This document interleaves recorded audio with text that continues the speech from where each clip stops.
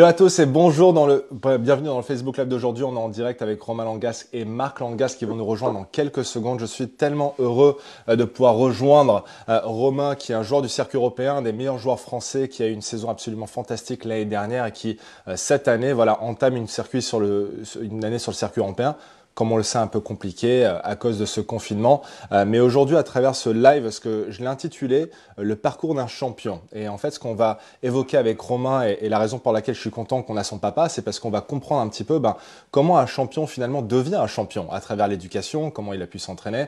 On va également effectuer une analyse de swing technique et mécanique sur, sur des vidéos que Romain a pu partager avec nous. Et puis, et puis surtout, le plus important, c'est que si vous avez des questions, n'hésitez pas à la poser les poser dans la zone de commentaires. Euh, on est en direct pour vous répondre. Donc je vois qu'il y a pas mal de personnes qui déjà se sont connectées. On est presque 150. Il y a John euh, qui est là, Gaspard Navarro qui dit salut, salut à tous. Donc si vous avez des questions pour Romain euh, et son papa Marc qui vont être là dans quelques secondes, n'hésitez pas à les poser dans la zone de commentaires. Durant le live, on a vraiment un beau programme devant nous et on va commencer tout de suite par rejoindre Salut Romain et salut Marc qui sont du coup en direct avec nous. Salut, ça va les gars? Salut Lewis. Salut Lewis. Bonjour à tous. Alors, je vais vous mettre en plein écran pour qu'on puisse voir Romain, voilà, Romain et, Marc tous les deux en même temps. Euh, alors, c'est rare de finalement de vous voir tous les deux en vidéo. On voit, on voit souvent euh, euh, Romain voilà, qui est un petit peu, on, parle toujours du staff autour euh, du joueur, le chef d'entreprise, qui est le joueur, c'est celui qu'on voit quand il est sur le parcours. On a l'occasion également de voir le caddie, quand le caddie est avec euh, Romain sur le parcours. Euh, et je le remercierai tout à l'heure parce qu'il m'a envoyé aussi quelques informations sur toi, Romain, mais je te le dis pas tout de suite, tu vas voir, c'est des, des, scoops. Des gros scoops. et, puis, et puis du coup, mais on a rarement l'occasion de voir ce qui se passe autour du joueur. Et un élément qui est primordial, c'est finalement les parents, le rôle des parents, l'importance euh, du rôle des parents, comment, euh, comment du coup le parent a influencé ou, le papa ou la maman a influencé euh, le joueur à devenir le joueur qu'il est, à, forger le, les traits de caractère qu'un champion doit avoir pour performer au plus haut niveau. Euh, et donc du coup, euh, voilà, Marc, moi je te suis sur un moment depuis les réseaux sociaux. C'est un plaisir aujourd'hui parce que c'est la première fois que je te vois du coup en direct, mais ça fait un moment que je te suis sur les réseaux. On voit même à travers les réseaux, les réseaux que tu as une, force de caractère et on comprend le, finalement le, le caractère qu'a Romain quand on voit finalement la force du caractère du papa. Euh, donc, euh, Marc, parle-nous un petit peu de déjà à quel moment est-ce que tu as, tu, as, tu as vu que Romain euh, voulait devenir joueur professionnel? Est-ce que ça s'est développé à un très jeune âge ou est-ce que ça a été plus tard? À quel moment est-ce que toi tu as vraiment vu ça? On n'a jamais, j'ai jamais cherché à, faire ce que, que Romain devienne un champion. Ça n'a jamais été un objectif du tout. Euh, moi, je l'ai emmené tôt au golf parce que bah, je le récupérais euh, à l'époque euh, chez, chez, sa babysitter et que bah, je voulais aller m'entraîner pour moi, perso. Et du coup, bah, j'étais content d'amener le, le, le pitchoun avec moi. Donc, c'est vrai qu'il a été tout petit. Il avait, il avait quoi Deux ans, il marchait à peine. Et je emmené. Alors, on faisait des jeux pour l'occuper parce que c'est vrai qu'à deux ans, il n'y a pas grand-chose à faire. On faisait, des, on faisait des petits jeux arrivés autour du green, style pétanque, rapproche-toi le plus possible du drapeau. C'était un peu sa récompense pour qu'il tienne tranquille pendant que moi je tape mes coups de golf. Euh, et puis bon, ben, les choses ont, sont montées en puissance comme ça, naturellement. Euh, il a grandi. Papa, je veux, je veux un club moi aussi. Donc à l'époque, il n'y avait rien. Euh, je lui ai fait un petit fer 7 coupé en deux avec un petit grip et il faisait des chips ensuite. et puis aux, alentours de, je sais pas quel âge tu avais quand on est parti aux États-Unis, c'était à, à 7-8 ans. il y a, on, a découvert Philippe Larvaron, qui était un, qui est un ami qui m'a aussi un peu appris à jouer et qui, qui a, qui a chez Romain, a, nous a dit, vous savez, il y a un championnat du monde qui est incroyable, c'est US Kid Golf, on devrait le faire, Marco, fait quelque chose. Allez, c'est bon, euh, nous voilà partis aux États-Unis. Et ça a été la, la première grosse aventure euh, où là, on s'est retrouvé au milieu euh, bah, de, des, des, des, des, meilleurs joueurs mondiaux de cet âge-là. Et c'était une catégorie par âge. C'était à quel âge? Ça rappelle-nous l'âge, Marc C'était à quel âge? Je crois que je l'ai fait 7, 7-8 ans ou 8-9 ans. On a fait 2 ans. Quelque chose comme ça. Donc, il ah avait ah, c'était, c'était, assez tôt quand même finalement. C'était waouh. C'était... Bah, après aussi, euh, ils m'ont. Euh, donc, dans le, golf, ça a été papa. Donc, j'ai été avec papa tôt. Il m'a amené. Ça est quand même devenu un peu ma passion. Après, ils m'ont jamais forcé à faire euh, du golf, tu vois.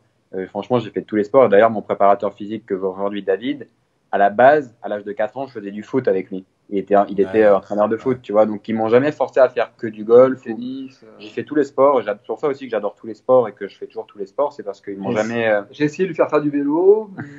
Ouais, je vois que tu es Oh. fan de vélo, Marc. Il me semble que tu fais beaucoup de vélo, euh, c'est ça, non Ouais. Il Vous avez Ouais, fait une séance ensemble, non? Il y a, Je crois hier. Ou... Hier soir. Vous avez fait- Ouais. Hier, hier. Ouais, je crois que Hier, j'ai vu sur écoute, Instagram. C'est- incroyable, et d'ailleurs je pense qu'il va neiger, là, ça se prépare.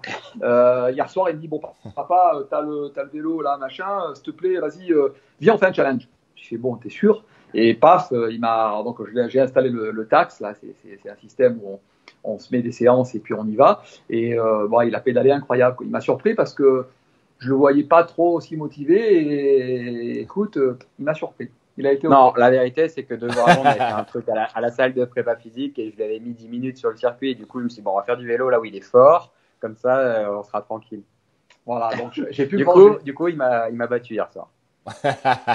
non. Et donc, du coup, ils m'ont, ils m'ont jamais euh, forcé à, à faire que du golf. Mais euh, à partir de, je, je veux pas dire de bêtises, mais je crois que c'est à partir de la, du CM1 ou du CM2, je suis entré dans une école qui était une école qui s'appelle Fénelon à Grasse et qui me permettait d'aller au golf le lundi après-midi, le mercredi après-midi et Ouais. le vendredi après-midi. pour, pour revenir sur l'histoire de US Kid Golf, là où je voulais en venir, c'est important parce que ça, ça, ça a créé un déclencheur. C'est-à-dire que là, Romain, euh, on faisait, à l'époque, il pouvait pas jouer sur les parcours. euh, euh, quand on jouait une compétition, comme il était homme, il fallait à tout prix qu'il parte des jaunes. Les femmes ne voulaient pas le voir partir des rouges. Enfin, les boules, etc. Donc, impossible pour un gamin de 7-8 ans de scorer, même des rouges, parce que forcément, les distances, c'est pas, c'est pas les bonnes. Donc, euh, du coup, là, il a découvert qu'il pouvait faire des birdies, qu'il pouvait jouer sous le par. Euh, il avait fini dans les 20e, ou entre 15 et 20, enfin bon, pas trop mal. D'ailleurs, on retrouve des joueurs aujourd'hui sur le tour, euh, notamment le Tabuena, Miguel Tabo- Tabuena. Miguel Tabuena, avait gagné l'année où Romain y était à, dans Mm. ce truc-là. Donc, euh, et là, il s'est dit, waouh, c'est ça que je veux faire. Et c'est là qu'il m'a dit, papa, ça me plaît. Ça me plaît vraiment. Et c'est ça que je veux faire, c'est cette compétition-là, cette pression-là qui me plaît. Et là, bon, ok, on s'est dit pourquoi pas. Et c'est de là qu'on a enchaîné avec l'école privée dans il était à, à Grasse, ou semi-privée, euh, euh, euh, Fénelon. Fénelon, euh, où on leur a dit voilà, vous avez des danseurs, vous avez des tennisman, pourquoi vous n'auriez pas des golfeurs? Et ils ont accepté Accepté. le deal de faire un petit horaire aménagé avec Philippe Larvaron et le golf de Saint-Donat et de dire on, on- on fait. Et j'ai dit à Romain voilà, le golf, c'est pas de la récré. Et ça a été mon mot d'ordre à partir de ce moment-là jusqu'à la fin, et je le recommande à tous les papas éventuellement, de dire ok, tu le fais, c'est une option, comme tu fais option guitare, option danse, option ce que tu veux, hein, dans, le sport-études en général, tu le fais correctement. Si je te vois déconner, je considérerais que tu fais pas le job et ça se passera pas bien. Donc du coup, euh, bah, il s'est posé là-dessus et puis bon, il l'a fait assez sérieusement en se concentrant comme si c'était euh, ben, une partie de, ses horaires de classe. Voilà. Mhm. Ouais, c'est incroyable. On a eu, euh, en fait, moi, donc moi, quand j'étais gamin, quand j'avais l'âge que tu es en train de décrire, j'étais aussi en centre de formation, mais pour le basket. Et donc, euh, mes parents ont eu, euh, voilà, des, des, mots similaires. C'était, voilà, c'était l'étude le, le matin, sport l'après-midi. Donc moi, c'était en, en l'occurrence, c'était le, le, le basket. Et puis il y avait euh, cette discipline à partir du moment où cette passion que j'avais pour le basket s'est développée dans, dans, dans la chose que je voulais faire finalement à, à plein temps. Euh, mais ce que je retrouve en fait finalement chez toi, Marc, et c'est là où je suis très fier aussi d'avoir le papa que, que, j'ai, c'est que mon papa ne m'a jamais forcé également à, faire les choses euh, que lui peut-être souhaitait que je fasse. À la base, tu sais, mon papa est, coach de golf et, euh, et, je pense qu'il aurait voulu que je fasse carrière en, tant que joueur. Mais moi, c'est le basket que j'aimais à, à 11, 12, 13, 14 ans c'est le basket que j'adorais. Euh, et ce qui est génial, c'est de retrouver en fait dans ces deux traits de caractère que, que vous avez tous les deux, c'est de jamais forcer le gamin à faire euh, un sport que, que, qu'il souhaite pas faire. Alors le golf pour moi, ça s'est développé beaucoup plus tard, même si je le pratique depuis j'ai 3-4 ans. Euh, ma, ma, passion, mon amour pour le golf s'est vraiment développé à l'âge de 18 ans, donc beaucoup plus tard que Romain. Euh, mais mon père m'a jamais poussé, il m'a toujours encouragé dans la chose qui me plaisait et, et, et, et j'encourage vraiment tous les parents qui nous regardent à, encourager vos enfants à finalement à, aller vers ce qui leur plaît. Donc, et surtout de faire différents sports, comme tu l'as dit, tu sais, à cet âge-là. Et c'est ce qu'aujourd'hui, c'est un peu TPI qui a développé cette philosophie pour les juniors quand ils ont commencé à voir que finalement les, les meilleurs joueurs, les meilleurs joueurs au monde aujourd'hui sont des athlètes. Et les athlètes aujourd'hui, c'est des joueurs qui sont capables de faire multiples sports donc du tennis, du vélo comme tu l'as dit, du foot comme, comme le faisait Romain quand il était jeune. Euh, donc quand vous êtes gamin, euh, quand vous êtes parent et que vos gamins si il est automatiquement pas poussé à, enfin s'il n'est pas, s'il n'a pas envie d'aller faire du golf à longueur de journée, qu'il a envie de pratiquer d'autres sports, c'est une bonne chose. Hein, c'est une bonne chose parce que finalement, il faut pratiquer d'autres sports et ensuite se concentrer sur celle qui nous plaît le plus. Mhm. Et c'est vrai qu'il y a eu un moment où euh, c'était vraiment moi qui, enfin pas qui le poussait, mais quand il a commencé à vraiment s'y mettre, je l'emmenais, etc. Je le suivais et, euh, j'ai ressenti que euh, je lui mettais beaucoup de pression, comme le font beaucoup de papas. J'ai encore fait un Grand Prix il n'y a pas si longtemps que ça. Pardon, excusez-moi. Et c'est le papa qui cadayait le, jeune homme qui jouait très bien. Et bah, il a été horrible il a été horrible et, et je me suis vu moi-même euh, longtemps, longtemps en arrière. Euh, je l'ai dit au petit d'ailleurs, j'ai dit écoute, te, te, te, laisse pas euh, marcher sur les pieds par le, par le, par le père, parce que, par ton papa, parce que euh, tu vas t'en dégoûter et tu vas t'arrêter. On a eu un cas de figure, moi que j'ai vu, j'ai constaté, qui m'a, qui m'a vraiment surpris, c'était Kenny Brogis, qui était un mec ultra doué, et je pense que la présence trop forte du père a, je critique pas le papa parce que c'est toujours compliqué. On veut bien faire hein, en fait. quand on le fait, on le fait dans le sens de vouloir euh, apporter le plus possible, essayer d'amener de son expérience. Mais en fait, personne ne peut, enfin, aucun papa du monde, à part s'il a été pro sur le tour, ne peut comprendre ce que le petit vit lorsqu'il est en compétition, quel que soit le niveau de la compétition, parce qu'à chaque niveau, ben, tu as une pression qui, qui, qui, est proportionnelle à, à, ton âge. Et euh, ils peuvent pas savoir ce que vit le, le, le, le gamin. Euh, comment il le ressent moralement, mentalement, on est tous différents. Et, et, ça, ce sont, des, ce sont des traits que tous ces gens qui ont fait une petite compète club, euh, qui ont peut-être été même en première série si tout va bien, euh, qui croient qu'ils savent, ils savent pas, ils peuvent pas s'imaginer. Et c'est, je leur, je leur transmets le message, faites vraiment attention parce que vous pouvez dégoûter des talents de devenir des talents. Euh, et ça, c'est clair. C'est clair. C'est très con. Et, c'est là où l'importance, l'influence des parents est primordiale parce que le, le, gamin, il peut, être, il peut être talentueux, il peut avoir envie, et puis en fait, il peut être, ça peut être cassé très jeune par un papa qui met trop de pression et qui sait pas comment s'y prendre. Tu sais, des fois, le papa il, ou la maman, hein, peu importe, mais pense bien faire.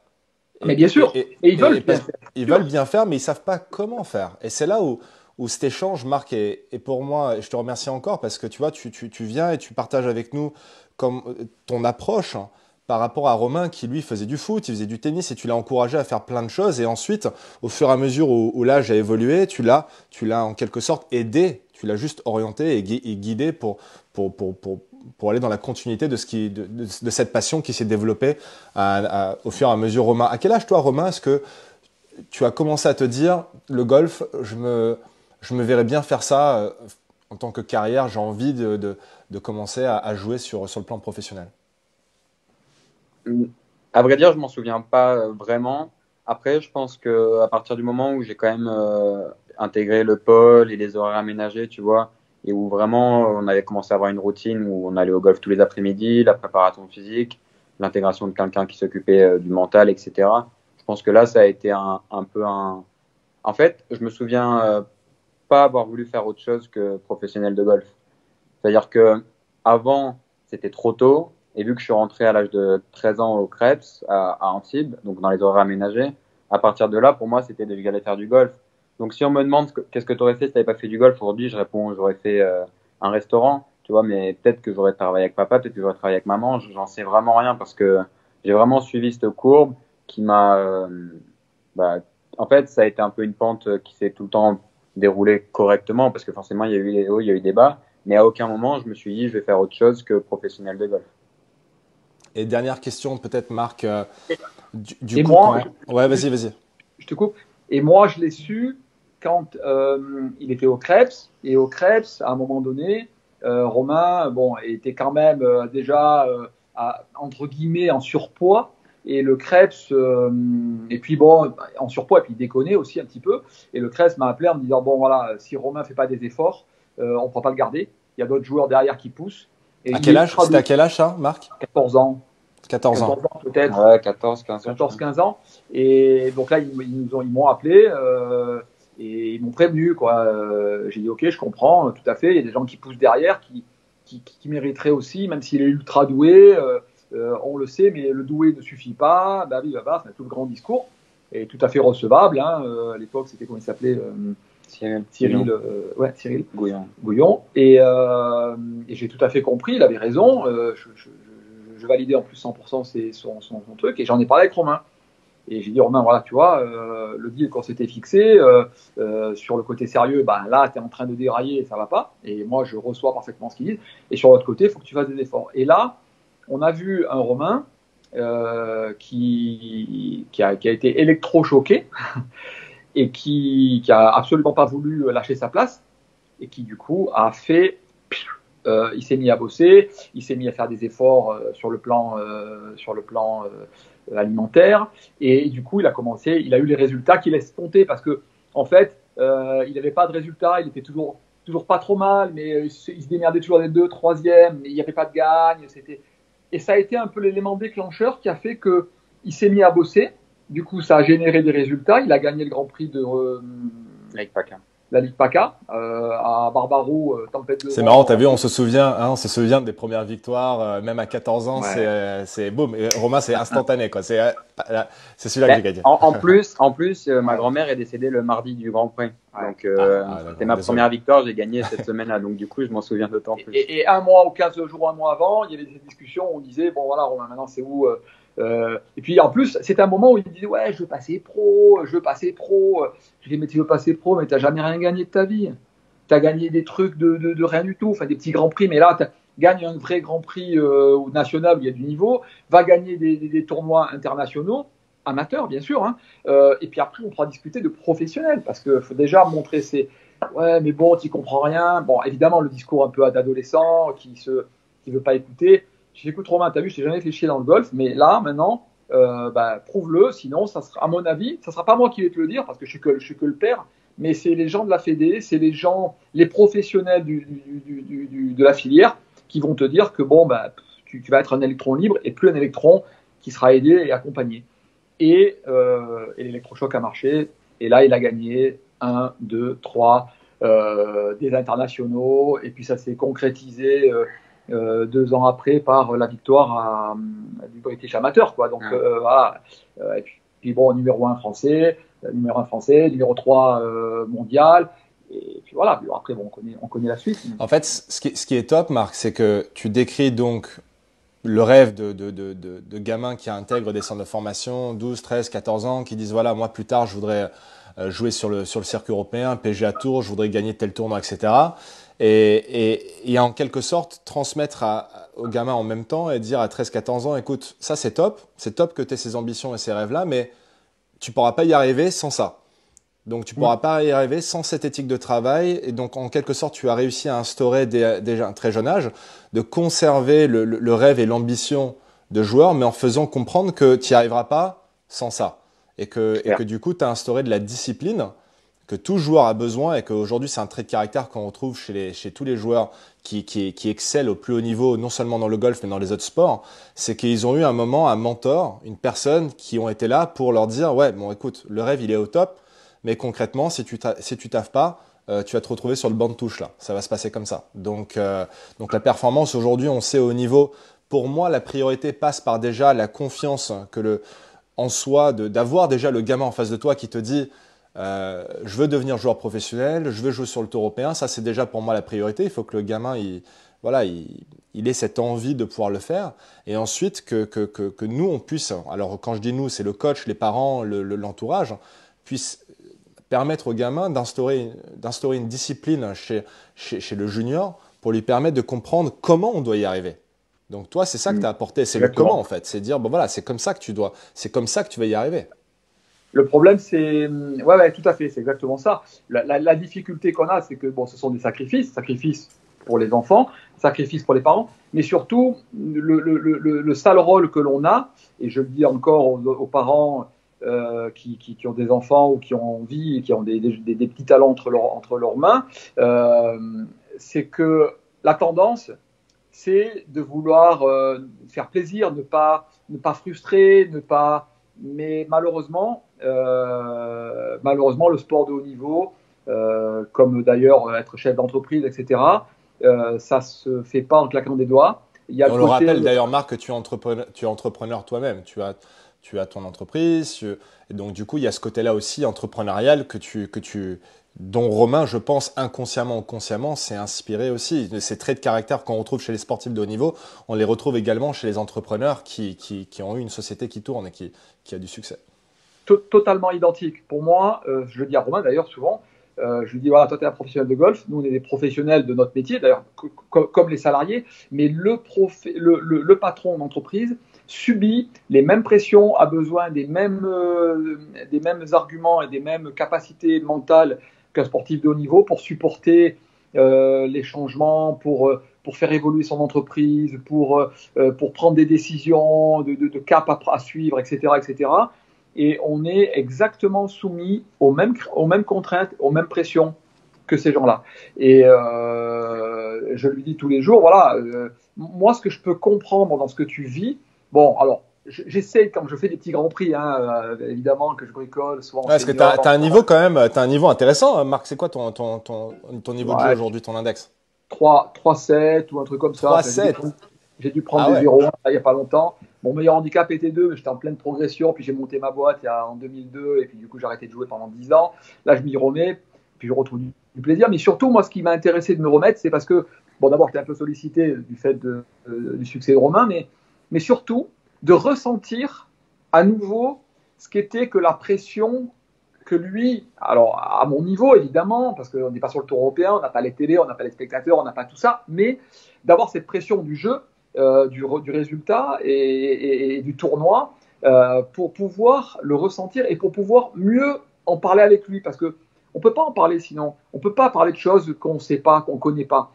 Et, je crois que on ne peut, je peux en reparler avec lui que depuis que je refais quelques tournois, où je prends mes claques aussi, où je fais quelques bons résultats. Euh, ça m'est arrivé encore de gagner une qualif il n'y a pas si longtemps, mais de me dire tiens voilà, je me suis mis en position de gagner, j'ai réussi à tenir le choc pendant pendant deux tours, euh, trou par trou, euh, de, de, rester relâché. Donc euh, au niveau du putting, comment j'ai géré mon putting, etc. Et du coup, je peux échanger avec lui. On peut se donner des, des conseils, des petits conseils, mais quand même, malgré tout, avec un vécu et pas avec euh, ce qu'on imagine ou ce qu'on voit à la télé, ce qu'on entend des commentateurs, tu vois, des choses qui sont malgré tout plus subjectives et, et, et floues. Là, on parle de concret. Et ça, c'est des éléments qui sont importants pour moi de pouvoir échanger avec lui sur ces sujets, le rassurer, euh, essayer de le parfois de le convaincre, même si parfois, des fois moi-même, j'ai des doutes en me disant, moi je lui dis ça, mais est-ce que j'ai raison de lui dire? Est-ce que je dois lui dire? Est-ce que je vais pas lui, mettre un doute supplémentaire par rapport au doute qu'il a certainement déjà, dont il ne me parle pas forcément? Enfin, tu vois, donc c'est vrai que on, est, en fait, il faut vraiment que les parents sachent que euh, tout ce que l'on va dire, bien sûr, va être totalement absorbé par les éponges que sont les enfants, euh, mais peuvent être mal distillés, mal répercutés et ça peut provoquer des, des, contre-résultats.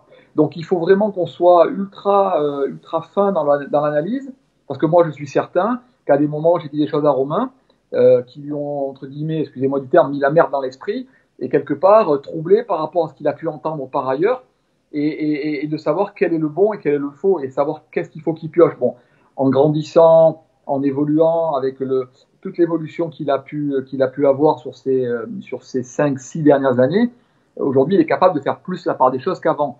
Mais quand ils sont jeunes et verts, qui viennent sortir juste de la de la cuisse de Jupiter, comme dirait l'autre, c'est vrai que euh, les parents sont paroles d'évangile. Donc ces paroles-là sont dangereuses, sont dangereuses ou très favorables, mais elles peuvent être ou l'un ou l'autre ou, le juste milieu qui peut être bon, mais il faut être vachement prudent. Alors Marc, je vais te poser une dernière question. Je te remercie énormément pour tout ce que tu partages avec nous. On sait que tu dois aller bosser aujourd'hui, même durant le confinement. Voilà, il, faut faire tourner la, il faut faire tourner la, la machine. Mais euh, durant l'éducation de, Romain, est-ce que tu t'es fait accompagner? Est-ce que tu as demandé de l'aide quand tu as quand tu avais pas forcément toutes les réponses? Est-ce que tu t'es rapproché de, professionnels euh, pour te permettre de, trouver les réponses euh, pour, pour Romain? Ou est-ce que voilà, tu as appris au fur et à mesure et tu, y allais par ton propre expérience? Non, alors euh, oui, oui, on, s'est fait aider. Alors moi, le premier, la première personne sur qui je m'appuie tout le temps, c'est Florence, sa maman. On n'en a pas parlé, mais elle était importante parce qu'elle elle est un peu plus dans l'ombre. Bon, elle était, euh, elle était pas du tout golf, hein, parce qu'en fait, il faut savoir que j'ai commencé à jouer au golf euh, grâce à mon ex-beau-père. On est séparés, mais on est en super bon terme aujourd'hui. C'est une famille décomposée, recomposée, on va dire. et, et, elle est importante parce qu'elle est beaucoup plus posée. Moi, je suis un peu, je suis un peu le feu. Et elle, c'est plutôt l'eau. Elle est tranquille, elle, elle est calme, etc. Et du coup, elle, elle, elle tempère un peu les choses. notamment entre moi et Romain, parce que tous les deux, nous, ça, ça, peut, ça peut claquer facilement. Et euh, du coup, c'est mon premier, c'était mon premier euh, dire qu'est-ce que t'en penses? Il dit ça, il pense ça, puis elle, elle me dit oui, bon, d'accord. Ça, c'était le premier point. Et puis ensuite, évidemment, on a eu, il y a eu des repères. Alors, à l'époque, il y a eu Cyril Bouillon que j'appelais de temps en temps, parce que Cyril, c'est pas quelqu'un qui communique du tout. Euh, je pense que c'est un très très grand professionnel, mais bon, euh, euh on a eu, je pense, s'il nous écoute, il, s'en rappellera et peut-être qu'il le validera. J'ai appelé, j'ai dit Cyril, putain, j'ai pas d'infos, tu me dis rien, qu'est-ce qui se passe, comment tu sens Romain, est-ce que ça va, est-ce que ça va pas euh, dis-moi euh, comment nous on doit interagir ou pas, c'était important, on n'avait pas d'infos. Euh, ensuite, bon, il y a un gars avec qui on a eu, qui, qui parle pas beaucoup non plus, mais qui avec qui j'ai de très bonnes relations, c'est Mathieu Santerre, un gars extraordinaire qui a, qui a vraiment la très belle approche, ne serait-ce mentale, technique bien sûr, mais mentale, il est, il est posé, il, est rassurant, on sent que voilà, c'est top. Et puis le gars avec qui j'ai eu la, la meilleure relation, bah, c'est Benoît du Colombier. Hein. Benoît, euh, bon, c'est moi qui ai posé Romain entre les mains de Benoît. Euh, on a mis, euh, il a mis un an pour le valider, ça a été compliqué, il voulait pas du tout y, mettre les pieds. Et puis il a fini par. Mais Benoît a été dur en disant, moi, un mec doué mais qui veut pas travailler, j'en veux pas. Donc moi, ce que je vois de Romain pour le moment, c'était un peu ça. C'était il y a très longtemps en arrière. Hein. Et j'en veux pas. Et pourtant, il s'est tapé tous les mecs les plus doués et les moins travailleurs de la planète. Hein, je pense à un peu Victor. C'est pas tout à fait vrai parce que Victor travaille aussi malgré tout, bien qu'on pense. Ouais, différemment, différemment. Tout le monde, voilà, ils ont une façon différente de travailler. Mais disons que c'est même pas ça, c'est qu'ils sont, ils sont doués. Ils sont doués, c'est entre leurs mains. Euh, des fois, ils se posaient des questions d'existentialisme. Je leur dis, attends, mais tu, tu golfes comme tu marches, donc euh, te pose pas de questions, marche, euh, golf. C'est en eux. Donc voilà. Mais cela dit, des mecs comme Benoît ont une approche vachement simple, vachement terre à terre, ultra posé, ultra et décomposé. Donc il va te donner vraiment des clés qui sont simples. Et j'ai dit c'est ces clés-là dont Romain va avoir besoin parce qu'il n'a pas besoin de 50 millions de choses. Juste besoin d'être rassuré sur deux trois points et vas-y, attaque. Et, ça, ça a donné de très bons résultats. Et aujourd'hui, le nouveau coach de Romain que j'ai pu croiser à deux trois reprises euh, est un peu dans cet esprit-là. Donc des gens qui à la fois sont capables de bien maîtriser la technique, mais n'en font pas tout un plat et restent sur des sujets assez simples, euh, carrés, euh, d'aller droit au but sur l'essentiel. Et, ça, c'est ce qui porte des fruits.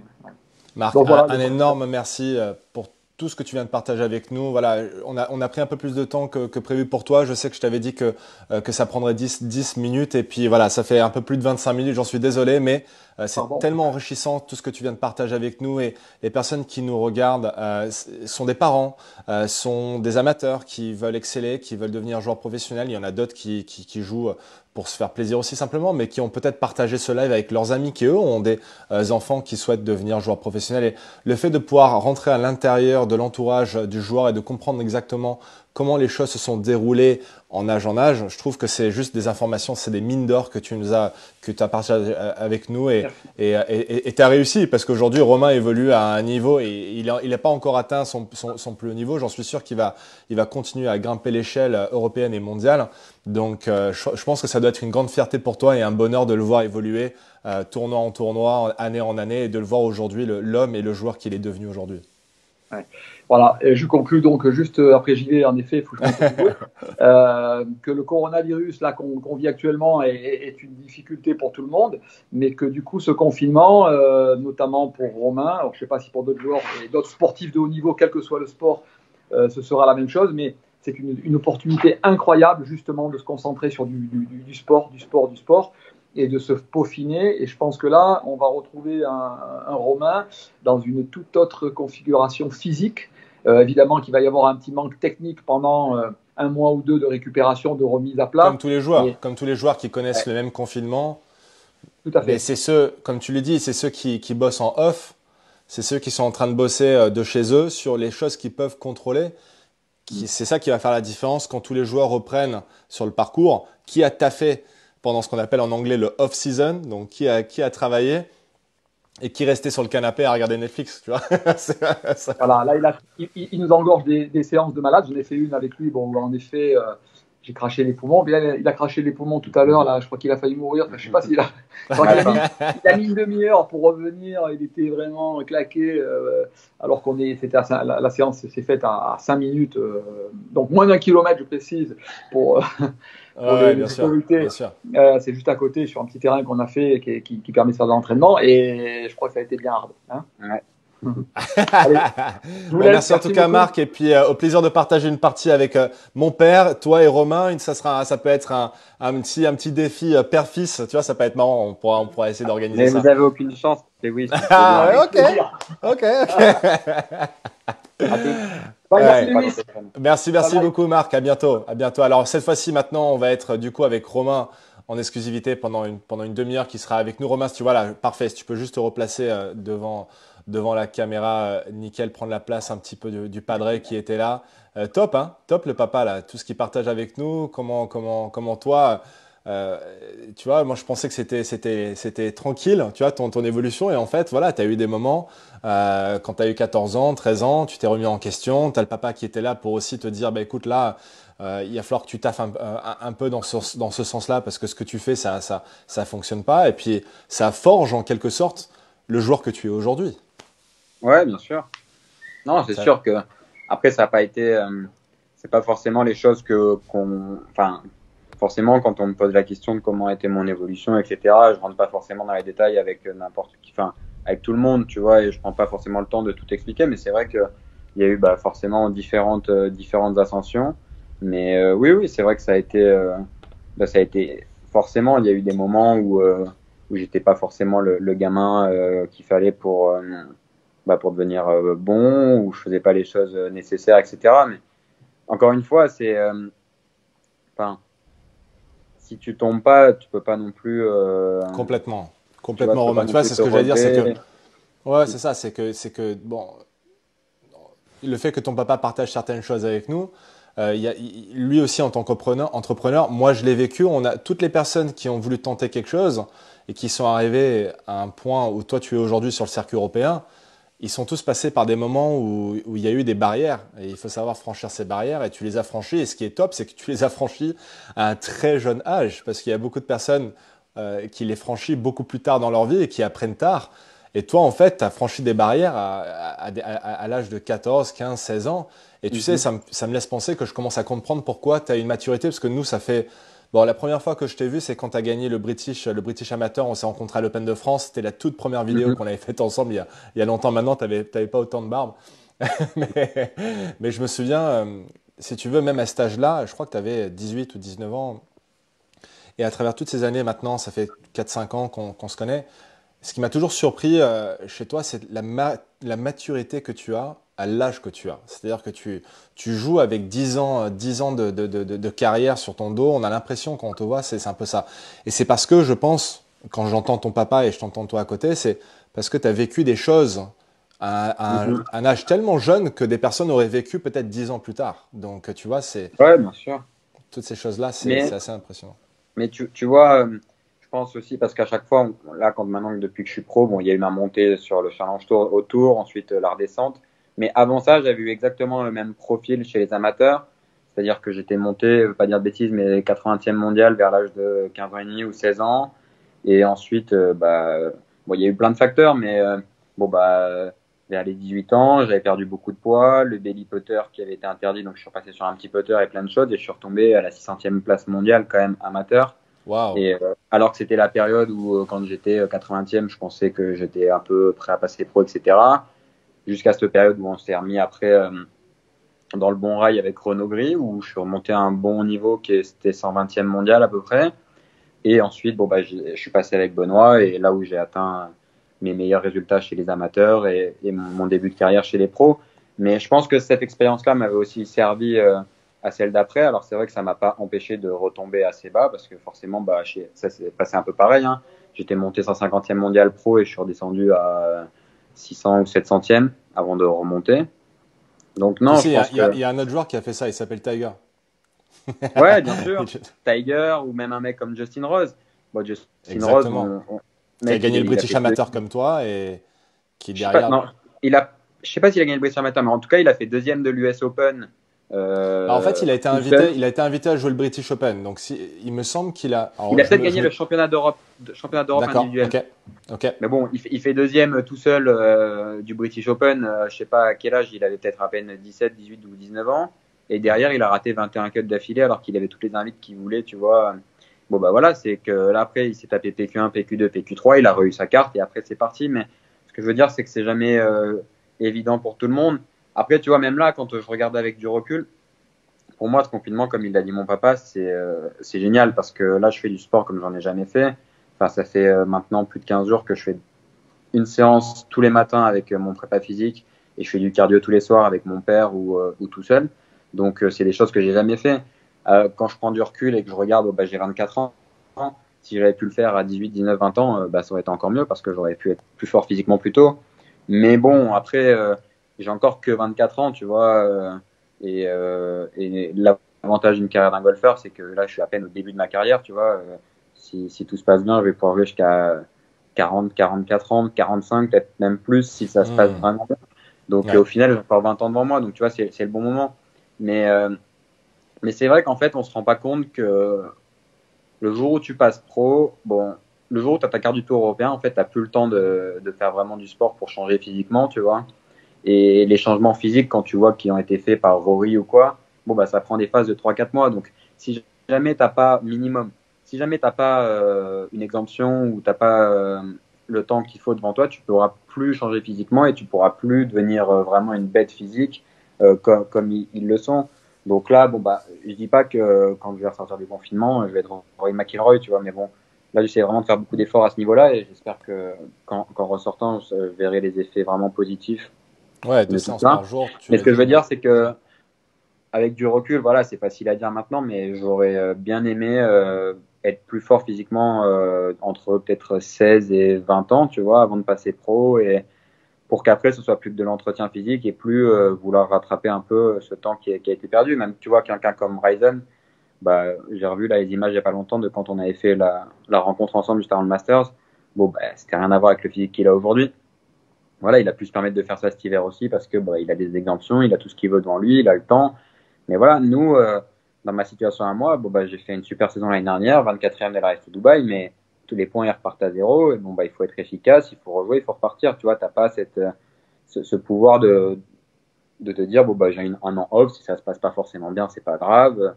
Donc, euh, donc moi, là, le confinement, c'est l'idéal. Et à chaque fois qu'il y a une semaine qui est annulée, je suis le plus heureux parce que je me dis que j'ai une semaine de plus pour, euh, pour bosser. Donc, moi, s'il pouvait m'annoncer une fin de confinement, enfin, un confinement ou pas de tournoi avant début août ou, mi-août, ça, ça m'irait encore mieux, tu vois. Comme ça, j'ai vraiment le temps de continuer. C'est possible, hein c'est possible, c'est possible. Ouais, ouais, c'est fort possible.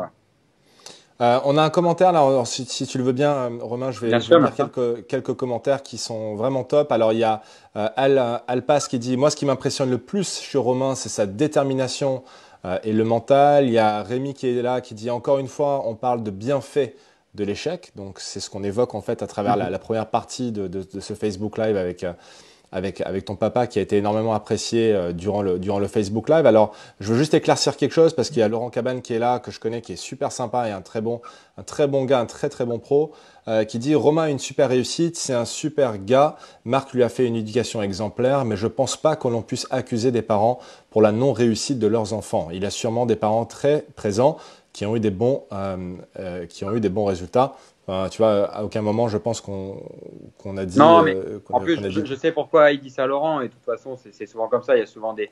Parce que papa, il a cité le papa de Kenny Subrégis, et évidemment que, évidemment que c'était pas, euh, enfin, c'était pas pour mettre euh, un tacle ou quoi que ce soit. Et on n'est pas là pour faire ça, tu vois. Et, bien sûr. Et Kenny, on, on, s'entend super bien, et et on se, tu, vois, je l'ai croisé encore il y a, un an ou deux à Arcachon et enfin c'est un super pote. Euh, enfin ça, ça, restera toujours un, très bon pote et je m'entends bien avec Laurent et je m'entendais très bien avec le papa de Kenny.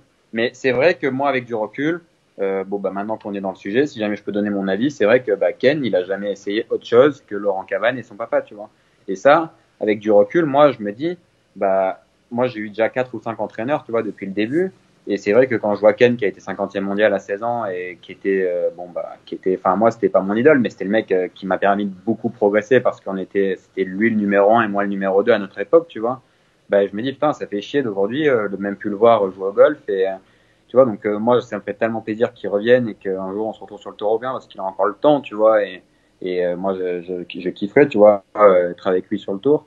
Mais c'est vrai que je pense que c'était vraiment pas pour viser son papa. Ouais, c'est ça, c'est ça. C'est juste pour clarifier qu'on n'est pas là pour mettre des. À voilà. son papa qu'il n'a pas réussi, mais mm. ou, à cause de son entourage.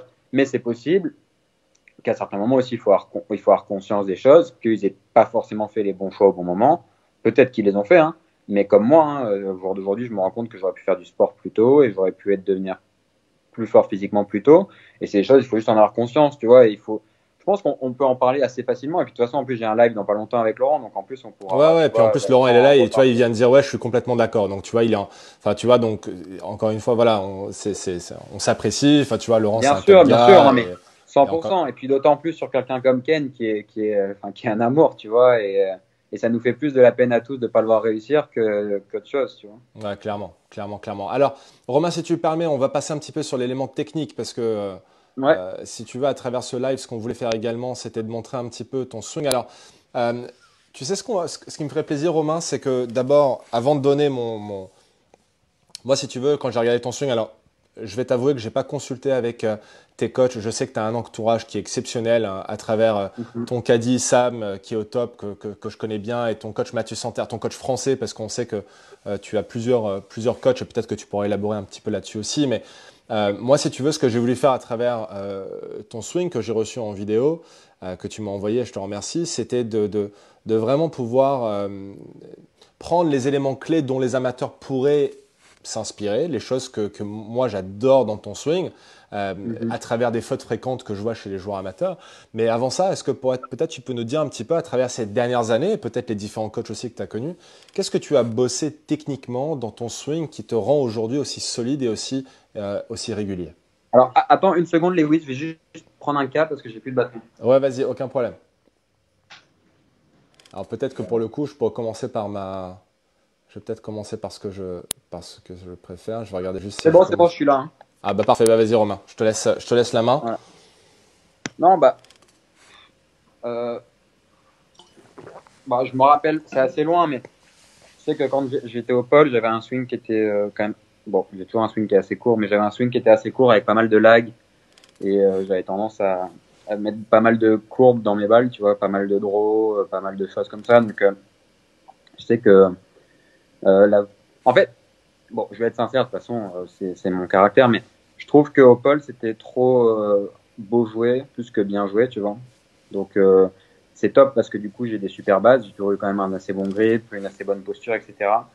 Mais après, dans la performance pure, je trouve que c'était pas assez, pas assez dans la performance, pas assez tout ça, et c'était trop dans la technique et dans la façon dont il fallait swinguer la balle, etc., etc. Donc ça, ça a été quelque chose qui m'a qui m'a pas plu et euh, bon j'étais le premier à le dire hein, donc euh, c'est pour ça que que ça a avancé. Et c'est aussi pour ça qu'aujourd'hui je peux m'entraîner avec quelqu'un comme Mathieu Santerre parce qu'il a énormément évolué à ce niveau-là. Et aujourd'hui il est euh, franchement j'ai Mike Walker comme coach parce que c'est lui qui m'a remis en confiance etc mais Mathieu c'est quelqu'un de top et je pense qu'il pourrait vraiment m'aider jusqu'au bout de ma carrière. Donc euh, ça, c'est vraiment canon. Est-ce que les deux coachs, donc tu as Mike Walker qui est, qui est le coach, ton coach international, et ensuite tu as mhm. Mathieu qui communique avec... Euh, avec euh, Bon. Alors en fait, à la base de la base, donc, donc après j'ai commencé avec Benoît, avec qui, bon bah voilà, Benoît il m'a dit, Romain, il faut qu'on qu'on réduise les effets dans tes balles. Enfin, c'est trop compliqué de, de maîtriser enfin, cette quantité d'effets, etc. Donc on a commencé à faire pas mal d'exercices pour qu'il y ait forcément moins de lag dans mon swing, que ce soit des choses un peu plus simples, des choses, euh, en fait, des choses un peu plus faciles à répéter sous pression. Et euh, le, le micmac qu'il y a eu entre Benoît et moi, qui a, qui a, commencé à me faire pas très bien jouer, c'est qu'on a voulu, on a essayé de me faire travailler le fade, et j'ai pas bien compris la façon dont il voulait me le faire travailler, donc je le faisais mal. Et en faisant ça, j'ai perdu mon draw en fait. Et le problème, c'est que parce qu'encore aujourd'hui, hein, à chaque fois que je croise Benoît, on en rigole tous les deux parce que les exercices que je fais aujourd'hui avec Mike Walker, c'est les exercices que Benoît me demandait de faire à l'époque, tu vois. Donc euh, vraiment, euh, ces deux coachs-là, ils sont la même chose, sauf que Il y en a un, il, c'est devenu quelqu'un avec qui je m'entends très bien et que j'apprécie beaucoup, Benoît, qui est quelqu'un qui a été comme mon deuxième père quand il m'entraînait. Et aujourd'hui, bon, bah, Mike Walker, voilà, c'est une, une relation professionnelle. C'est, on se voit en tournoi, on se voit là, mais bon, il n'y a pas plus que ça. Donc, s'il me dit de faire ça, j'ai confiance, je fais ça et je sais que je suis dans la bonne voie et que ça va aller euh, dans le bon sens. Mais je sentais aussi que par ce moyen-là, bon, bah, il allait me manquer quelque chose. Tu vois, euh, comme on disait tout à l'heure, euh, bah, dans l'esprit un peu de performance, dans l'esprit aussi de comment m'entraîner, ma façon de m'entraîner, euh, etc. Et c'est pour ça que bah, je, quand j'ai arrêté avec Benoît, je sentais que aussi quand j'allais être euh, sur la Côte d'Azur pour, euh, pour faire des journées d'entraînement, bah, c'était bien d'avoir quelqu'un qui était là aussi pour vérifier si ce que je faisais était dans le bon sens et, et pour pas en fait patiner. Et c'est là que j'ai contacté Mathieu, avec qui on a commencé à travailler. Et ce qui a été top avec Mathieu, c'est qu'il a tout de suite compris que je voulais pas euh, de lui à 100% et que je voulais pas un coach technique. Et euh, il est resté vachement à sa place et du coup, bah, il est, bah, il est top. Franchement, ça se passe super bien. On essaie toujours de d'avancer, de faire mieux. Et c'est un peu aussi la personne avec qui j'échange surtout. Tu vois, bon bah il y a mes parents, il y a mon papa et ma maman. Mais après, en dehors de ça, c'est aussi la personne avec qui j'échange euh, sur plein de choses, sur son avis, sur sa façon. De... Voilà. Et puis donc du coup, bah maintenant, donc j'ai, en fait, en gros, j'ai vraiment Mathieu, David, mon préparateur physique, j'ai Kélil, c'est mon kiné, c'est aussi le kiné des équipes de France. J'ai Meriem pour tout ce qui est l'aspect psychologique et Mike Walker. Mais, euh, mais vraiment, tu vois, on a une, bon, et Sam, bien sûr, mon caddie, mais il y a vraiment une super entente entre bah, Kelly et mon préparateur physique qui sont tous les deux vraiment euh, sur tout ce qu'on fait ensemble, sur la façon d'avancer ensemble par rapport à ce que Kelly il peut voir, ce que mon corps peut faire et ce que David peut me faire faire en fonction, mais aussi ce que ce qui va se passer sur le parcours entre Sam et Mathieu, qui est très important aussi parce que tu vois, moi j'ai après une partie, je vais pas forcément avoir un avis euh, euh, forcément euh, clair, à chaud. Euh, forcément, as envie de, des fois, tu as tout envie d'envoyer bouler, tu as envie de virer tout le monde. Enfin, tu vois, il y a des fois où à chaud, tu en as plein ton cul et tu as envie de te débrouiller tout seul. Mais du coup, ça permet aussi d'avoir un avis de quelqu'un extérieur qui peut échanger avec Mathieu et puis ensuite Mathieu qui peut revenir vers moi et on peut en parler, on peut, tu vois. Donc, c'est vrai que Mathieu, il est très important parce qu'il est un peu la base au milieu de tout ça, tu vois. Mmh. Et euh, c'est un petit peu l'interlocuteur, c'est celui qui va échanger avec tout le monde et qui, voilà. ensuite va échanger avec toi. Et, euh... Après, le point qui est ultra, pour moi, qui est très important, et, parce que moi, je bon, j'ai très confiance en moi et très confiance en tout ce que je fais, mais j'aime bien aussi être rassuré, j'ai besoin d'être rassuré, tu vois. Et le fait d'avoir quelqu'un comme Mike Walker, donc, euh, qui est lui quand même, là, cette année, ça a été un peu plus compliqué parce que, euh, avec euh, toutes ces postes de tournois et le calendrier, ça a été un peu moins ça, mais l'année dernière, il a fait une vingtaine de tournois.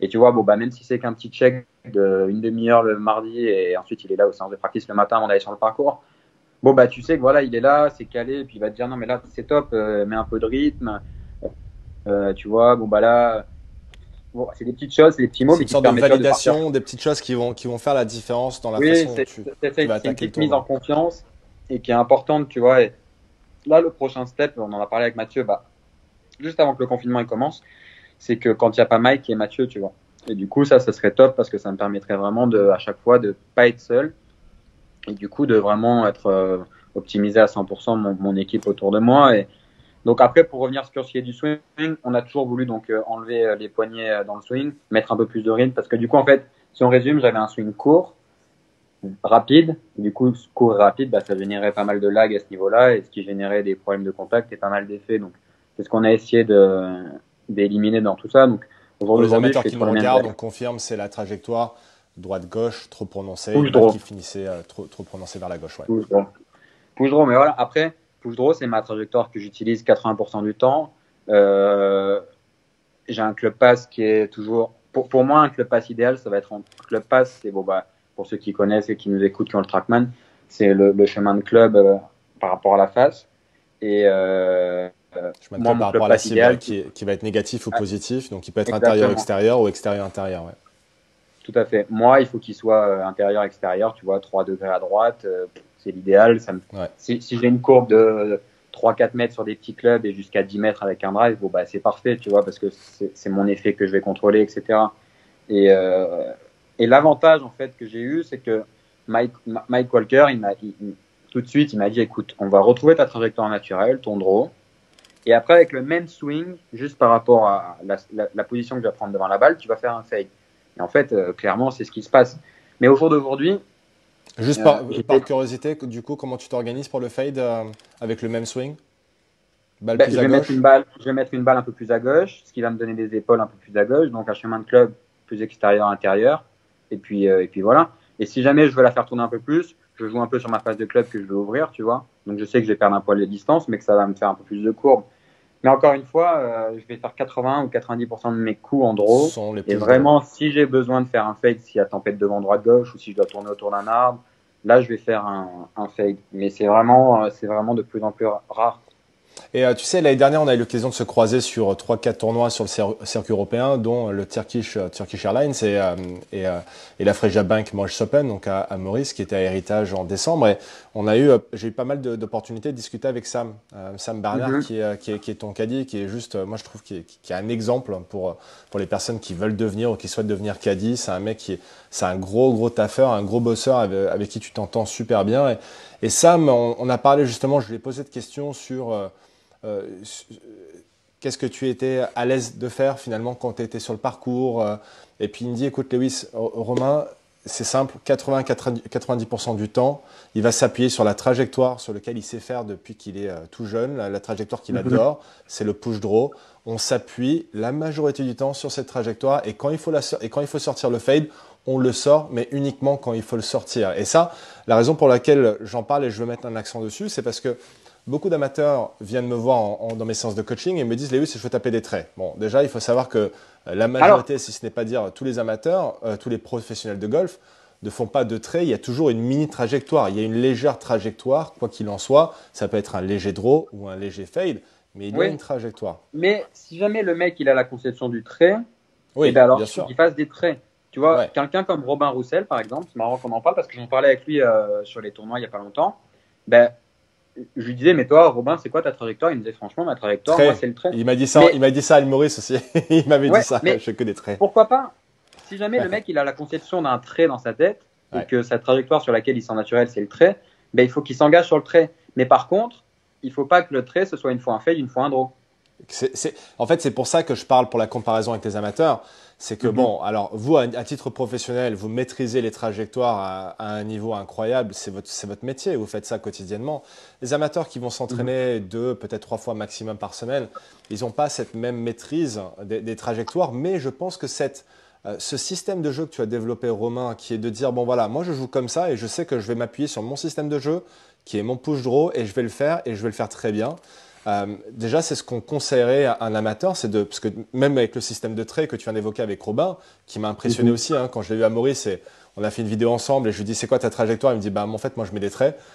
je lui dis ok, bah, ok bon bah, très bien. Mhm. mais, euh, mais avec les amateurs du coup c'est de choisir un système de jeu et de s'appuyer sur ce qu'on sait faire sur le parcours et pas essayer de faire des choses pas qu'on n'est pas capable de faire, mais essayer de faire des choses euh, qu'on fait moins bien que ce qu'on fait très bien. Tu vois ce que je veux dire? Forcément, forcément, tu vois, ils, vont toujours te donner des exceptions. Forcément, Tiger, il a joué avec les deux trajectoires, qu'un mec comme Bubba Watson, il joue avec les deux trajectoires, etc. Mais je pense que le golf moderne aujourd'hui et, le golf sur lequel tu vas t'appuyer et lequel tu vas être le plus performant, surtout sur le long terme, pas forcément sur un tournoi, mais sur le long terme, ça va être ce golf-là. Et c'est vrai que bah, quand tu vois un Tommy Fleetwood, pour moi qui est un des meilleurs ball strikers du tour, ou un Rory, ou, euh, encore même un Brooks Koepka, tu vois, des, mecs comme ça, enfin, sur le peu que je les ai vus taper, ils font tout le temps, tout le temps les mêmes trajectoires. Forcément, c'est des mecs qui sont capables. Donc, quand ils sont 100% euh, confiance et qu'ils sentent qu'ils sont capables, bah, ils vont taper un peu les deux effets. Mais ça, c'est peut-être aller 7-8 tournois par an où tu te sens vraiment dans ta bulle et tu sens vraiment que là, tu es capable de faire tout. Et moi aussi, ça m'arrive. A des parties, bah, tu vois, comme mon dernier tour euh, en Turquie cette année, bah, j'ai fait des coups, euh, bon, bah, tu vois, des, des coups, mais, mais tu es dans une zone où tu sens vraiment que tu es capable de pouvoir le faire et tu t'engages dessus et c'est presque naturel, mais c'est pas toutes les parties que c'est comme ça. Ouais, bien sûr. Et c'est vrai que forcément, moi, la, la priorité pour moi, euh, enfin, si je peux donner un conseil à un amateur, même un amateur lambda, tu vois, qui, qui, qui, cherche à progresser, c'est d'essayer de, quand il est au practice, de faire la même trajectoire, pas de faire une fois un slice, une fois un, voilà, d'essayer de trouver une trajectoire sur laquelle il s'appuie. Et puis ensuite, le jour où il sera capable de maîtriser cette trajectoire-là, il fera la deuxième trajectoire. Ouais, et c'est là où c'est important aussi, je, je, rajouterais sur ce que tu viens de dire Romain qui est top, c'est que quand vous allez au practice, il faut bien distinguer dans l'entraînement, qu'est-ce que vous êtes en train de faire? Est-ce que vous êtes en train de bosser sur la technique? Est-ce que vous êtes en train de bosser sur les mhm. trajectoires, sur la performance? Donc il y a vraiment euh, différentes étapes dans une séance d'entraînement. Il y a pour moi ce qu'on appelle le, le, block practice, où c'est là où on va travailler sur un élément mécanique de son swing. Et là, on n'est pas forcément, on n'est pas forcément tout de suite à la recherche du résultat, mais plus au niveau des, sensations. Ensuite, on, prend une partie de l'entraînement et puis on peut se focaliser sur la partie performance. Et là, justement, comme tu as dit Romain, c'est dire, voilà, tu as 10 balles. Sur 10 balles, combien de fois est-ce que tu peux effectuer la même trajectoire avec une, dispersion qui est, qui, qui, qui est, similaire et un point de chute qui, va être similaire aussi? Évidemment, voilà, si vous allez augmenter de club, on va être un peu, un peu moins exigeant, mais déjà de faire cet entraînement-là, parce que souvent les amateurs, on les voit avec un saut de practice, ils vont, ils vont taper quelques sauts et ils vont faire, penser bien faire, penser faire la, la même chose, mais en fait, finalement, ils se sont pas vraiment entraînés. Et c'est souvent pour ça que les amateurs disent Je comprends pas, sur le practice, tout se passe bien, mais sur le parcours, ça se passe pas comme je veux. Bah, tu vois, en fait, il faut s'entraîner d'une façon à ce qu'on devienne performant sur le, sur le parcours et pas d'une façon mhm. à, être, que ça soit trop aléatoire. Quoi. Non, non c'est clair. Euh, Romain, je vais juste euh, je vais prendre ton swing de, de, de, de profil. Là, donc, toi, tu as fait ton analyse de, euh, de swing qui, qui, était top. Tu nous as dit ce que tu bossais. Et puis moi, j'ai. Alors toi, tu le vois pas malheureusement parce que malheureusement, tu vois que ma tête depuis le début de ce live, mais j'intègre, j'intègre mesure. regarde un peu par là. c'est ça. de temps en temps, j'intègre des vidéos euh, dans le live. Donc, l'audience, en fait, euh, a accès à, des vidéos de ton swing. J'ai montré du, des vidéos, des super vidéos que euh, qu'a fait Martin Coulon sur ton swing l'année dernière durant un tournoi que, que du coup, il m'a envoyé. Et donc, du coup, voici l'analyse de swing de mon côté, de, de, de Romain, mais surtout euh, pas l'analyse de, de, son point de vue, mais de ce que moi j'adore dans son swing, sur lequel vous pouvez peut-être vous inspirer. Alors, vous allez voir que dans le swing, j'ai dessiné deux traits. J'ai dessiné un trait bleu, euh, qui est en fait, Romain, je l'ai dessiné juste derrière des fesses, euh, les fessiers.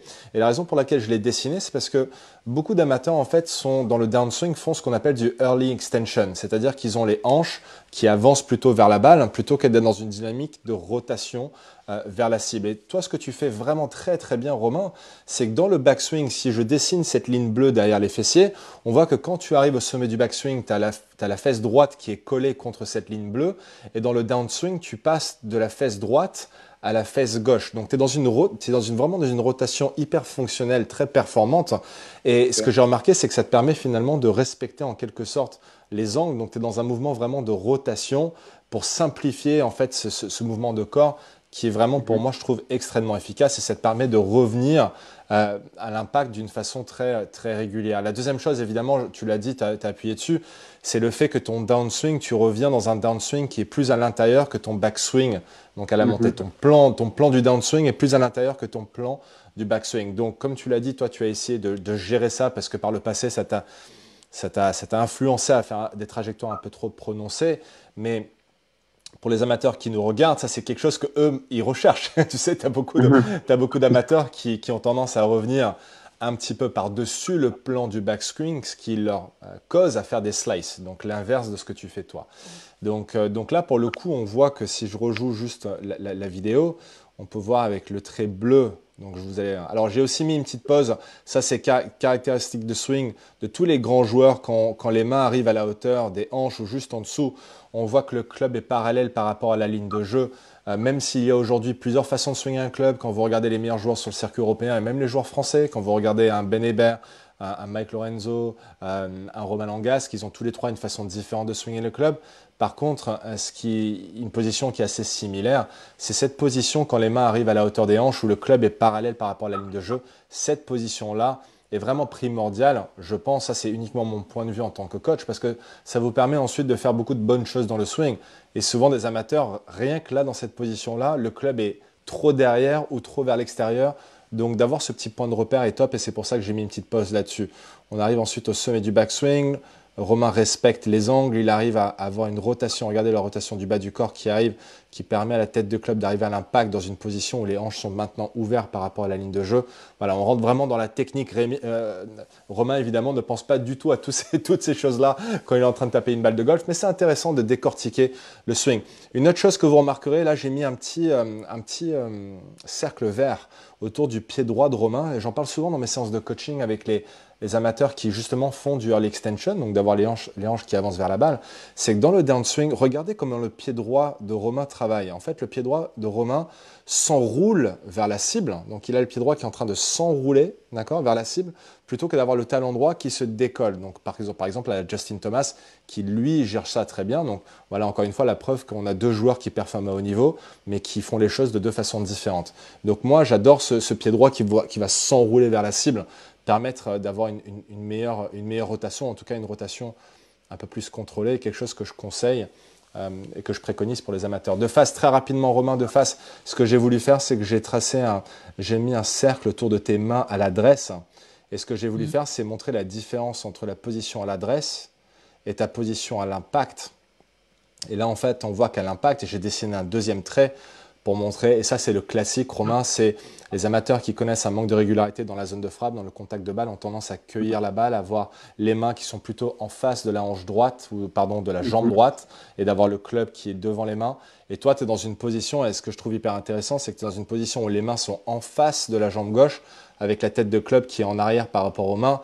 Et d'ailleurs, ce que je me suis amusé à faire, c'est dessiner un trait de ton shaft, qui en fait continue dans, va dans la continuité de ton bras gauche. Et en fait, ce qu'on mhm. constate, c'est que ton shaft est finalement une extension de ton avant-bras gauche. Vous allez voir le petit trait que j'ai dessiné juste ici. Voilà, j'ai dessiné une ligne rouge. Le shaft est une extension de l'avant-bras gauche. Quelque chose qu'on ne retrouve pas souvent parce que finalement, il n'y a pas d'angle entre l'avant-bras et le shaft. Et chez les joueurs amateurs, on retrouve beaucoup d'angles entre, entre, le bras gauche et le club. Et c'est là où les amateurs ont tendance à accueillir, à gratter la balle, etc. Donc, euh, Romain, j'espère que ça, ça va, tu, tu, tu confirmes les, les, les, les points forts que C'est vachement compliqué quand tu vois pas. Ah ouais, ouais, je suis désolé, c'est vrai, ouais. Je te, non, non, mais pour moi, c'est pas grave, c'est bien pour les gens qui regardent, mais c'est vrai que moi, c'est dur de commenter alors que je vois même pas les C'est ça, c'est ça. Euh, mais voilà, donc il nous reste encore quelques minutes et ce que je voulais faire pour les dernières quelques minutes après cette analyse de swing, euh, c'est déjà te remercier pour nous avoir envoyé ces swings. Romain, regardez je regarde un petit peu en même temps les commentaires qu'il y a. Il y a beaucoup, beaucoup de personnes de connectées. On est presque 200 euh, personnes connectées en live.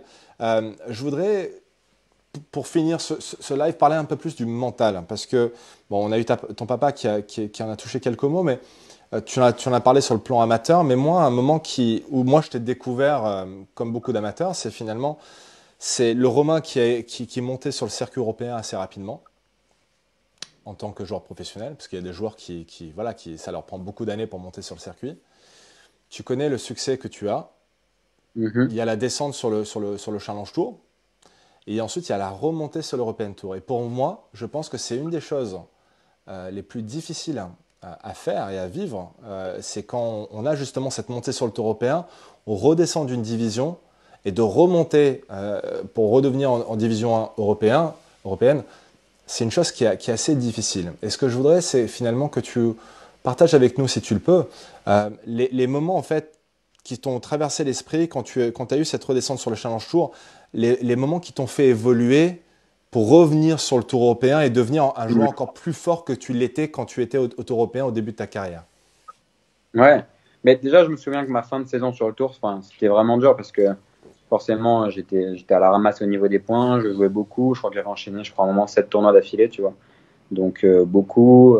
Je me souviens à British Masters, euh, j'avais fait un plutôt en fait, j'ai fait pas mal de cuts ratés de peu. J'avais fait plutôt un bon premier tour et je rate le cut d'un point. Euh, c'était mon, je sais pas combien de cut raté d'affilée. J'étais triste dans ma chambre. Enfin, ça m'est arrivé de pleurer, etc. De, parce que t'en peux plus, quoi, de rater les cuts, de te rendre compte que, bah, il reste plus que 4, 3, 2, un tournoi pour garder ta carte.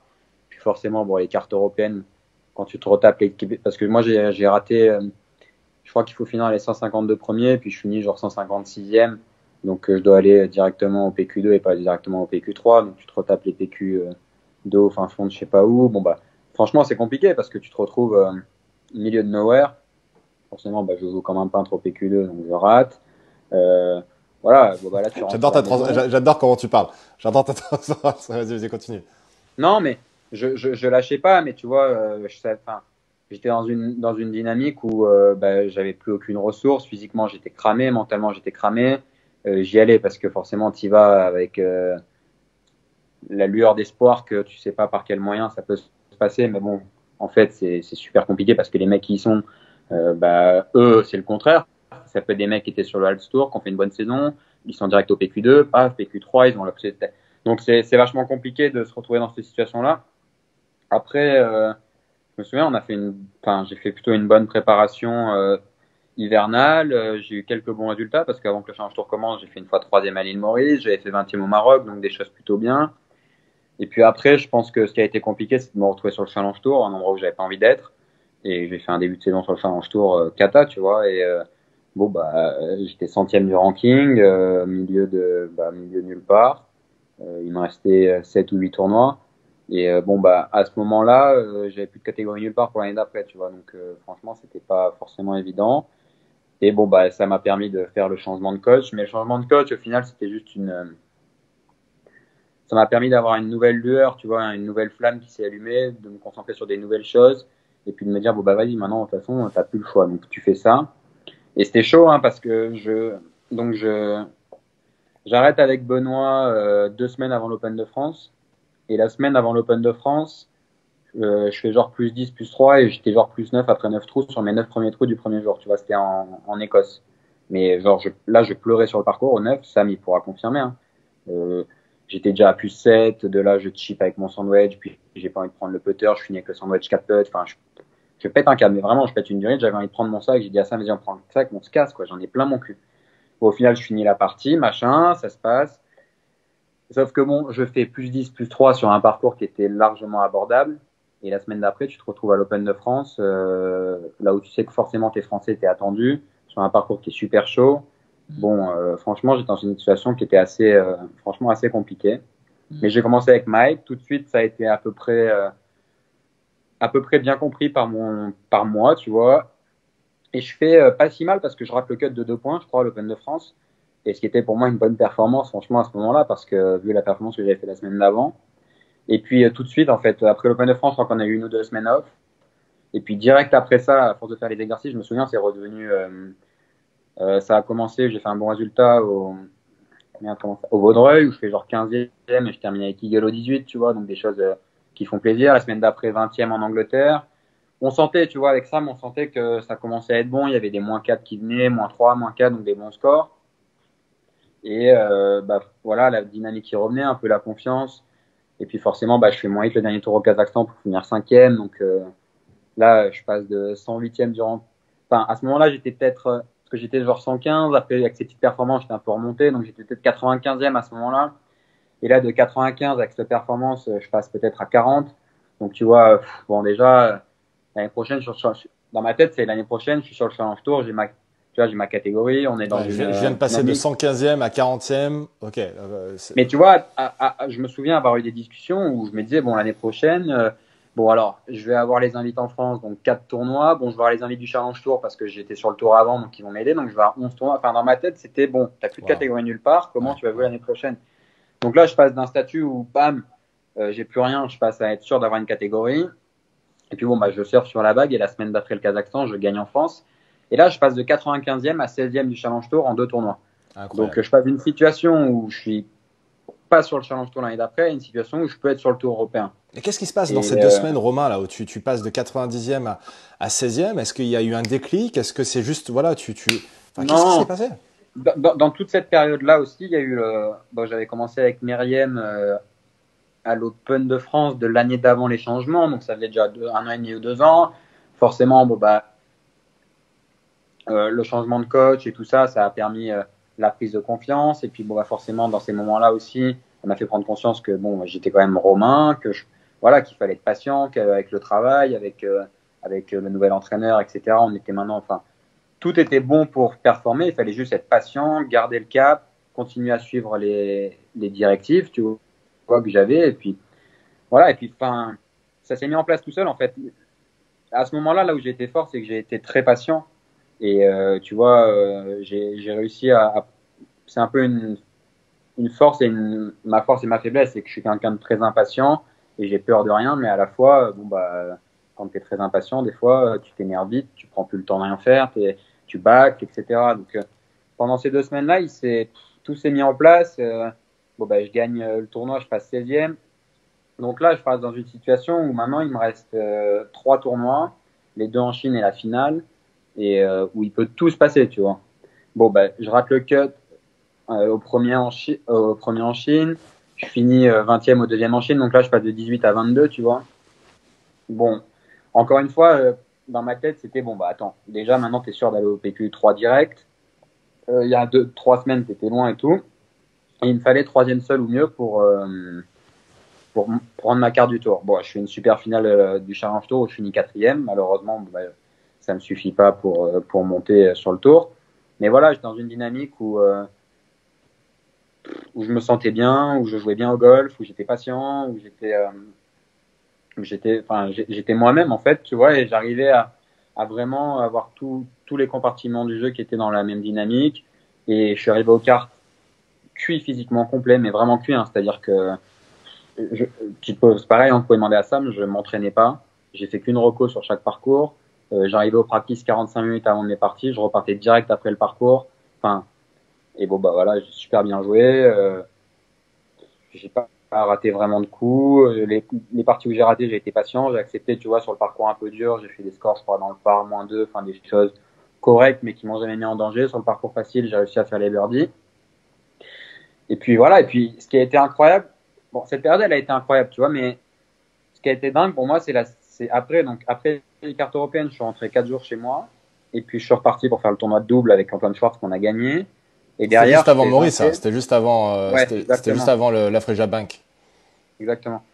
Et là, je fais 20e à la Freja Bank, euh, deuxième, 15e, tu vois, pour commencer sur le tour. Donc là, mais là, ça a été ma meilleure période de jeu vraiment que j'ai. Euh, en, termes de régularité, de longévité, tu vois, et de consistance, de, du Kazakhstan à, à cette période-là, ça a été pour moi enfin, incroyable en termes de qualité de jeu et de, et, et, de, de façon dont j'ai joué, tu vois. Et ce qui m'a un peu, par exemple, bon, forcément, l'année dernière, j'ai fait plein de très bons résultats et ça a été une super année. Mais ce qui m'a un poil euh, mis en dedans en début de cette année-là, bon, parce qu'on a essayé de changer, et, j'ai un peu mal interprété et on est, on est en train de travailler, donc c'est pas forcément évident. Mais voilà, je suis dans une dynamique où euh, j'essaye de vraiment être dans la victoire, etc. Et c'est ce qui m'a un peu coûté en, début d'année, tu vois, parce que ça m'a mis dans des super positions. J'étais trois fois en très bonne position après deux tours et j'ai eu du mal à, à concrétiser les week-ends. Mais, euh, mais voilà, je sais que moi, la clé de mes résultats, c'est quand même vraiment la patience. Et, euh, et ça, pour moi, ça va être, je pense, primordial pour tout le long de ma carrière. Quelles sont les choses donc aujourd'hui pour, pour euh, dernière question avant de te libérer, Romain, et je te remercie mhm. encore pour le temps que tu nous consacres. C'est maintenant, voilà, deuxième année sur le, enfin, depuis le Challenge Tour, hein, deuxième année sur le circuit européen. Euh, tu te retrouves l'année dernière, euh, tu fais, tu, tu, parles de cette période à Freja Bank là, fin 2019, mais fin 2020, tu, tu enchaînes aussi euh, des belles perfs et des cartes incroyables. Il me semble au, au Turkish, tu fais une dernière journée Turkish Airlines ah quand, quand, je t'ai croisé, incroyable. Tu, tu, il me semble que tu fais top 15 euh, au Turquie sur le Rolex. Ouais, je fais 9e, je crois. 9e, c'est ça, ouais. ouais. Tu fais un top 10 euh, incroyable, surtout la dernière journée. Hein. La dernière journée, tu, tu exploses tous les compteurs, c'est fantastique. Mm-hmm. Qu'est-ce que tu qu'est-ce que tu retires finalement Qu'est-ce que tu retiens pardon de, de, de, cette expérience Tu vois le fait d'avoir monté, descendu, remonté et J'imagine qu'aujourd'hui, tu es dans une situation où tu veux plus jamais redescendre sur le Challenge Tour, comme tous les joueurs qui ont connu cette expérience-là. Mm-hmm. Mais quelles sont les, les, les, les, leçons, une ou deux clés que tu retiens de cette période qui, qui font qu'aujourd'hui, euh, tu te, tu te dis, euh, voilà, aujourd'hui, euh, je suis Romain, je suis là je suis, je, suis, je suis prêt à rester. Quoi. Je suis là pour rester je suis là pour, pour claquer des tournois. Bah, déjà, je pense que la différence, c'est que maintenant, j'ai aussi vachement progressé sur ça, c'est que je connais mon système de jeu, je connais mieux ma façon de swinger, je connais mieux les coups sur lesquels m'appuyer sous pression, euh, je connais mieux mes points faibles aussi. Euh, toutes ces choses-là, je pense que c'est bien d'en être conscient et de savoir euh, où, euh, voilà, d'être vraiment conscient de tout, de conscient des bonnes choses, de mon swing, de mes résultats, de ma façon d'être, mais aussi conscient des choses où je peux progresser. Et ça, c'est vraiment la différence. Après, euh, évidemment que, enfin, je souhaite à personne et je, mais tu peux très bien aussi, euh, sans redescendre sur le champ tour, avoir une année un peu compliquée sur le tour, tu vois, où t'as pas les résultats que tu veux. Enfin, je prends l'exemple de Matt Pavon l'année dernière, tu vois, je sais que c'était pour lui une année assez compliquée, tu vois, parce qu'il a eu beaucoup de cuts ratés, aussi beaucoup de bonnes performances. Mais si t'en parles avec lui, c'est une année où, qui a été assez dure, je pense, mentalement, parce que bah, il a dû se battre jusqu'au bout, et, et c'est pas forcément les années que tu as envie de, de, de, de, subir, tu vois. mais bon, encore une fois, je pense que c'est une période qui, qui m'a appris à me connaître encore mieux, qui m'a appris à, être encore plus mature, à être encore plus patient, euh, à me rendre compte de la difficulté euh, bah, de notre métier et, et, de prendre conscience de toutes ces choses-là. Top. Et euh, Romain, je vais juste te laisser en lisant quelques commentaires de la part des personnes qui ont suivi le live, qui euh, c'est pas des questions, mais juste qui te félicitent. Il y a Antoine qui dit au top les lives, les gars. Euh, Michel qui dit merci pour cette franchise, Romain. Euh, Marc-Antoine qui dit génial cette authenticité au top, Romain. Euh, Olivier qui dit au top les lives, vive le confinement. Alors, Romain, il, veut le confinement pour travailler sur la prépa physique qui va, qui, qui va améliorer.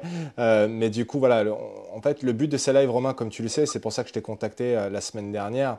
Euh, alors, je veux juste lire un dernier commentaire parce que celui-là, je l'ai trouvé vachement beau aussi. Et, et, euh, et, euh, Emilien qui dit ne, connaissant pas Romain, en tout cas, il donne l'impression d'avoir une de ces belles qualités qui, je pense, est primordiale pour arriver tout, au tout haut niveau. Et ça s'appelle l'humilité, tout en croyant en soi à 100%. Bravo Romain et claque dès que possible un tournoi. Voilà, je voulais lire ce dernier commentaire parce que tu vois, ça, de, de, l'intérieur, Romain, tu sais que voilà, on a, on a parlé avec Alex des réseaux sociaux, etc. Tu sais, mhm. quand tu es en tournoi, c'est difficile de, de quand tu à l'intérieur des corps, de, de, de, de, voir finalement ce qui se passe à l'extérieur. Et puis là, pour le coup, c'est juste pour te montrer qu'il y a des personnes qui vraiment qui te soutiennent, qui, qui te regardent, qui, qui adorent ce que tu fais, qui mhm. apprécient ton parcours, qui apprécient tout ce que tu fais ton authenticité. Moi, je te connais, on, a l'occasion de se croiser pas mal à l'intérieur des corps. Donc, c'est pour ça que moi, ça me fait plaisir de faire ce live parce que ça nous permet, ça permet aux amateurs de rentrer à l'intérieur des cordes avec toi et de comprendre euh, comment ça se passe dans ton quotidien, mentalement, qu'est-ce que tu as vécu, les difficultés d'un joueur du circuit qui, qui connaît des moments difficiles, comme nous tous, on est êtres humains. Et, là, mhm. pour le coup, je te remercie pour, pour avoir été transparent avec nous et partager des, des choses, des expériences qui, euh, qui te rendent le joueur que tu es aujourd'hui. Donc, euh, grand... j'ai l'impression d'être Nikos avec, la... tu sais, mais euh, tu sais qui est toujours. Mais en tout cas, un grand merci à toi, à toi Romain. Euh, profite à fond du coup de ta préparation physique hein, euh, durant le confinement, qui, je l'espère, voilà, va pas durer longtemps, parce qu'on veut te retrouver le plus rapidement possible sur le fairway, mais tout ça, en, évidemment, en respectant les, toute la sécurité qui, qu'on doit respecter. Donc, continue à, faire ce que tu fais, et puis on espère te retrouver très rapidement en haut du leaderboard comme on l'a vécu l'année dernière. Merci Lewis. Un petit mot de la fin, Romain, pour les personnes qui nous ont regardé Bah, forcément, un grand merci à, bah, déjà à toi et bon, bah, pour le coup aussi au Journal du Golf pour, euh, bah, pour, pour ces échanges, parce que moi, pas forcément été l'idéal l'année dernière avec eux, mais c'est vrai qu'on est, je pense que tous les jours, on aimerait être une équipe avec, euh, avec les médias aussi, parce qu'ils font partie de notre, notre métier. Après, c'est vrai qu'il y a des moments où c'est pas forcément évident de lire, euh, de lire des choses qui sont pas forcément vraies ou qui sont vraiment mal interprétées. Donc, euh, donc aussi, je pense à, eux de leur côté de faire attention à ces choses-là. Après, ils savent que pour moi, en tout cas de mon côté, je suis, je suis open et je suis, je suis pour qu'on avance tous ensemble. Merci à mes sponsors aussi parce que dans ces périodes-là, c'est vrai que c'est pas forcément évident. Grand merci à ma famille et grand merci à tous. Top, il te, il te reste plus que l'Oscar. Allez, à plus. Ciao, ciao, à plus. Ciao, merci. Ciao.